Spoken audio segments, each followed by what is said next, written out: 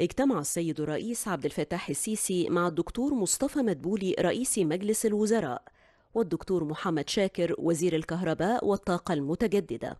وصرح المتحدث الرسمي باسم رئاسة الجمهورية المستشار أحمد فهمي أن الاجتماع تناول متابعة الموقف التنفيذي لعدد من مشروعات وزارة الكهرباء على مستوى الجمهورية حيث اطلع السيد الرئيس في هذا الإطار على مستجدات الموقف الخاص بإنشاء وتطوير مراكز التحكم في شبكات توزيع الكهرباء التي تهدف لتحسين أداء خدمة توصيل الكهرباء وكذلك جودة الشبكة القومية للكهرباء بصفة عامة.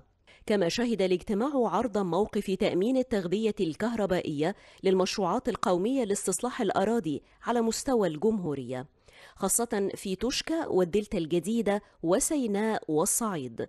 واطلع السيد الرئيس أيضا على مستجدات مشروعات الربط الكهربائي مع دول الجوار لا سيما المملكة العربية السعودية وكل من اليونان وقبرص وإيطاليا.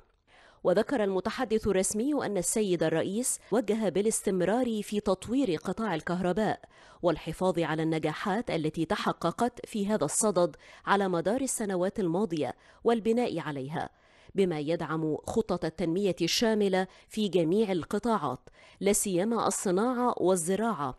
بالإضافة إلى مواصلة الارتقاء بجودة الخدمة الكهربائية المقدمة للمواطنين. إلى جانب تعزيز مشروعات الربط الكهربائي مع دول الجوار بهدف تحقيق الاستفادة الاقتصادية المتبادلة.